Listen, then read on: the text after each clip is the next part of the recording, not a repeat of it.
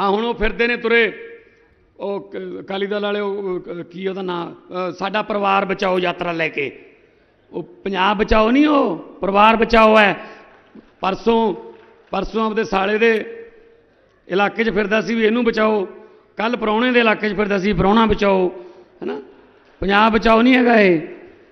ਉਹਦਾ ਆਪਦਾ ਪਰਿਵਾਰ ਲੈ ਕੇ ਫਿਰਦੇ ਨੇ ਵੀ ਸਾਨੂੰ ਬਚਾਓ। ਕਿਉਂ ਬਚਾਈਏ? ਠੇਕਾ ਲਿਆ। ਤੁਸੀਂ ਤਾਂ ਪੰਜਾਬ ਖਤਮ ਕੀਤਾ। ਕਿਉਂ ਬਚਾਈਏ ਅਸੀਂ ਤੁਹਾਨੂੰ? ਉਹਨਾਂ ਦਾ ਕੋਈ ਏਜੰਡਾ ਨਹੀਂ, ਕੁਛ ਨਹੀਂ। ਲੱਗ ਗਿਆ ਨਾ, ਲੱਗ ਗਿਆ ਨਾ ਸੁਖਬੀਰ ਬਾਦਲ ਗੱਡੀ ਦੀ ਛੱਤ ਤੇ ਬਹਿ ਕੇ ਪਾਣੀ ਪੀਣ ਤੇ ਰੋਟੀ ਖਾਣ। ਪਹਿਲਾਂ ਕਦੇ ਲੱਗਿਆ ਸੀ ਇਹ? ਇਹ ਤੁਸੀਂ ਲਾਇਆ ਛੱਤ ਤੇ ਬਿਠਾਉਂਦੇ ਆ, ਪਹਿਲਾਂ ਉਹਨੂੰ ਸਵੇਰੀ ਬਿਠਾ ਲੈਂਦੇ ਨੇ, ਕਿਉਂਕਿ ਜ਼ਿਆਦਾ ਵਾਰ ਚੜਨਾ ਉਤਨਾ ਔਖਾ ਉਹਨੂੰ। ਤੇ ਸਵੇਰੀ ਬਿਠਾ ਲੈਂਦੇ ਨੇ, ਉੱਥੇ ਹੀ ਰੋਟੀ, ਉੱਥੇ ਹੀ ਪਾਣੀ, ਐ ਕਰਦਾ ਫਿਰਦਾ ਸਾਨੂੰ ਬਚਾ ਲਓ, ਸਾਨੂੰ ਬਚਾ ਲਓ, ਕਿਉਂ?